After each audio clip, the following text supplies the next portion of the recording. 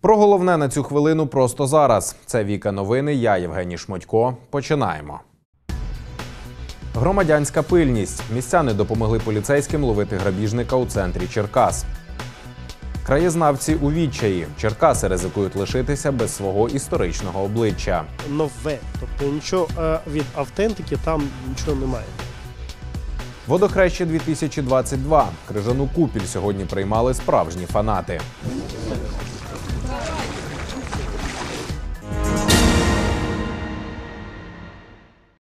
В середмісті Черкас патрульні поліцейські силами місцевих жителів ловили ймовірного грабіжника. Щоправда, замість вкрадених речей поліціянти знайшли наркотики. Про ймовірну крадіжку до них звернувся один із власників обчищеного приміщення і в деталях описав злочинця. Уже незабаром його знайшли патрульні, від яких чоловік почав тікати, а заразом і позбуватися доказів.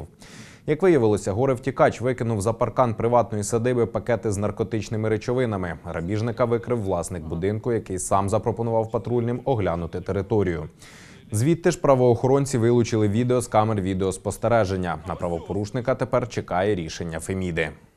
Черкаський підрядник виграв тендерів на 172 мільйони гривень. ТОВ «Черкаси-Міськбуд» дістався черговий тендер на капітальний ремонт дороги між селами Старий Коврай та Лящівка, що на Золотоніщині. Обійдеться п'ятикілометрова ділянка у 30 мільйонів гривень. Окрім цього, автошляху компанія виграла ще два тендери на ремонт дороги між селами Благодатне Крутьки за 32 мільйони та автотрасу між Худяками та селом Рацеве на 110 мільйонів. Анатолія Бурського, який і очолює ТОВ Черкаси міськбуд, ЗМІ встигли охрестити улюбленцем Тулуба, адже за часи його головування підприємства Бурського виграли найбільшу кількість тендерів. Із січня родини загиблих атовців та учасників Революції Гідності отримуватимуть підвищену грошову допомогу. Розмір щомісячної стипендії становитиме 4 тисячі гривень. Серед необхідних документів свідоцтво про смерть, витяг з протоколу про причини смерті та посвідчення члена сім'ї загиблого. У Черкасах таких отримувачів більше сотні. Нові висотки замість старих будівель з історією. Черкаси поступово втрачають свій архітектурний колорит та індивідуальність, нарікають краєзнавці. Громадянська та Друга світова війна, хаотична забудова часів незалежності знищили чимало архітектурних перлин кінця 19-го, початку 20-го століття. Процес знищення історичної спадщини триває і нині. Чи можна це спинити? Розбирався Олександр Іващенко. Зі старих будівель кінця 19-го, початку 20-го століття багато втрачено назавжди. Не побачимо уже жіночої гімназії Самойловської. На її місці постала школа номер 17. Колоритну дореволюційну споруду по вулиці Хрещатик витіснив торгово-розважальний центр. Лише на старих фото можна побачити соборну Миколаївську церкву. Фрагменти будівлі нагадують про міський базар, де розташувався нині один з корпусів університету. Гімназійна церква, Свято-Троїцька церква, будинки Житомирського та Кучерського. Перелік можна продовжувати. У нас фактично е, буквально ось і залишиться лише один хрещатик, на якому буде там на, двох кварталах там кілька десяток об'єктів. Ми вже не зможемо відтворити. Тобто бажання відтворити аналогічний будинок немає. Закон дозволяє отримати у власність об'єкт культурної спадщини, і в більшості випадків нові власники розпоряджаються з об'єктами на власний розсуд. Їх ремонтують та перебудовують без погодження з відповідними органами. Ми можемо бачити на розі Свято-Троїцької і Шевченка будинок відновлений. Да, там, да, він 1894-го, насправді це вже фактично ну, е, нове. Тобто нічого е, від автентики там нічого немає. Вплинути на планомірне знищення об'єктів культурної спадщини можливо в теорії. На практиці ж відповідні фахівці нарікають, їхні повноваження обмежені. Вихід на місце, складання припису і е, складання припису і доведення його до власників пам'ятки, якщо йде безпосередньо якесь порушення. Е, У разі нереагування власників на е, наш припис, е, ми звертаємося до правоохоронних органів. Ситуація, що склалася із руйнуванням будинку по вулиці Байди Вишневецького, 2, є порушенням культурно-охоронного законодавства. Переконані Черкаській обласній прокуратурі. Цей об'єкт належить приватній будівельній фірмі. У обласній прокуратурі кажуть, у Черкас досі немає історико-архітектурного опорного плану, тому і виникають такі ситуації. На нашу думку, е, це є неналежне виконання тих е, визначених законом про охорону культурної спадщини обов'язків. І наразі я думаю, що в майбутньому часі ви побачите інші е, спірні правовідносини, які будуть е, висвітлені в окремому позові органів прокуратури до вказаного підприємства. Приватна будівельна фірма виграла позов до Міністерства культури України, в якому оскаржила статус пам'ятки культурної спадщини будинку по вулиці Байди Вишневецького, 2. Хоч прокуратурі запевняють, крапку в цій справі ставити зарано. Відкритим залишається і питання забудови замкового узвозу, але повернути Черкасам архітектуру, зразки якої не повторювалися, за оцінками фахівців, уже неможливо. Олександр Іващенко, Сергій Косенко, Віка Новини. На Черкащині з'явиться свій національний природний парк, один із півсотні подібних на Україні, але єдиний у нашій області. Указ про заміну статусу Холодного Яру президент підписав на початку цього року. З цього почнуть тривалий організаційний процес. Що зміниться від того, розповідає Марія Гаврилян. Холодний яр – реліктовий лісовий масив на Черкащині площею понад 30 тисяч гектарів. Ці території мають багате історичне минуле. Та останні роки холодноярські ліси стали справжньою меккою для підсніжникових паломників.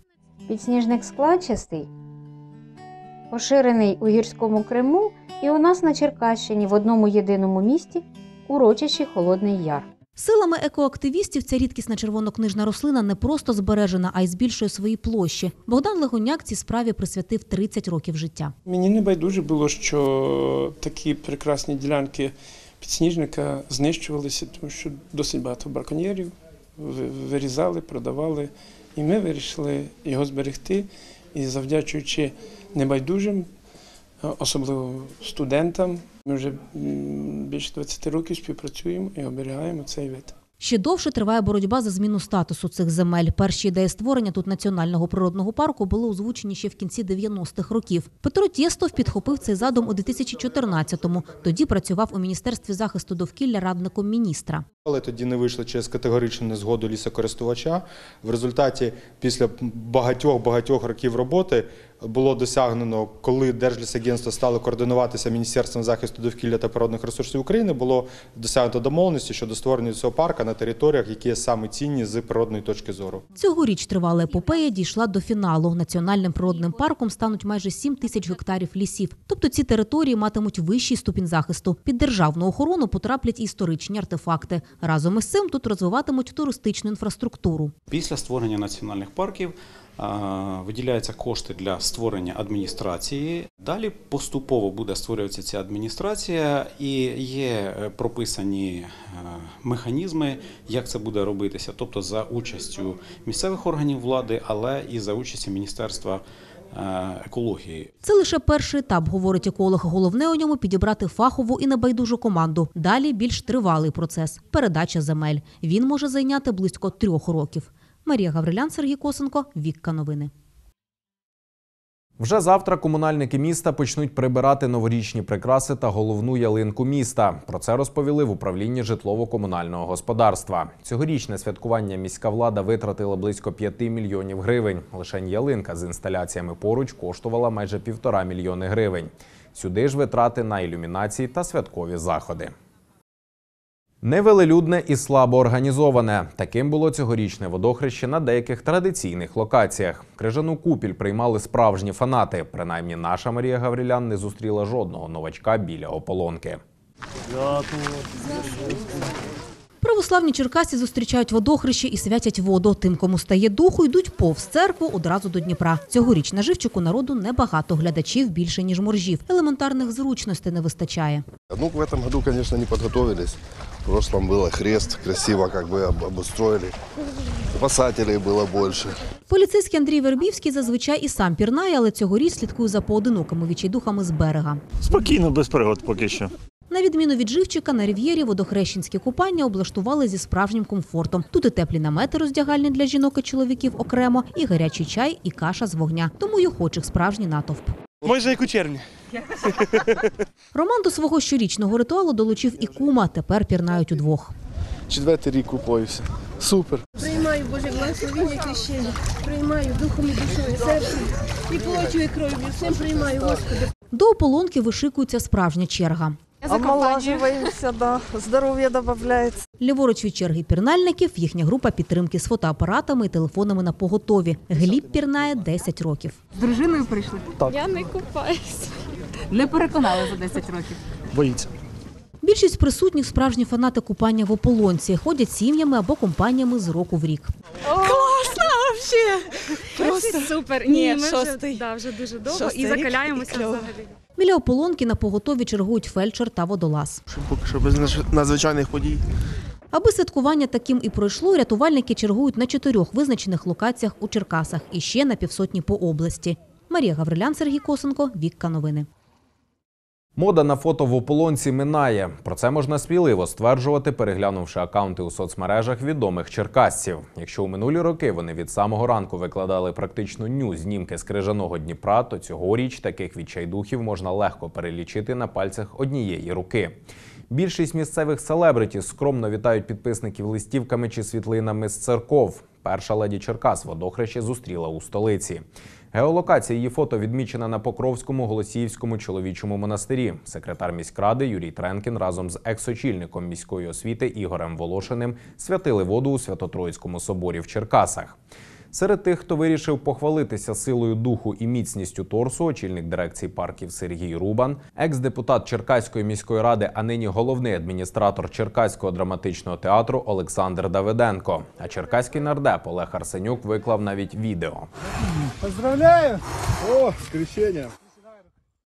Це все на сьогодні. Більше новин та коментарів є на нашому сайті, адресу якого ви зараз бачите на екрані. Дякую, що ви з нами. Побачимось.